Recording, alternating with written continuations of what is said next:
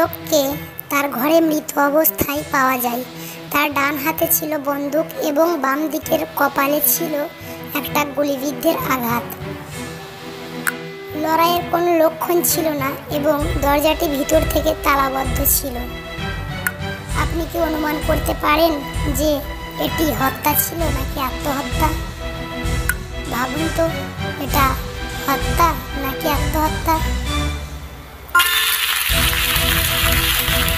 এটি হত্যা ছিল? কারণ লোকটি ডান হাতে বন্দুক ছিল এবং বাম বাম কপালে গুলিবিদ্ধের আঘাত ছিল।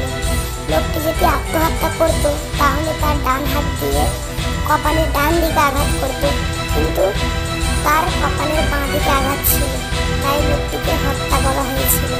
ভিডিওটি ভালো লাগলে লাইক, কমেন্ট, শেয়ার করবেন এবং আমার চ্যানেলটিকে সাবস্ক্রাইব করবেন। ভিডিওটি দেখার জন্য ধন্যবাদ।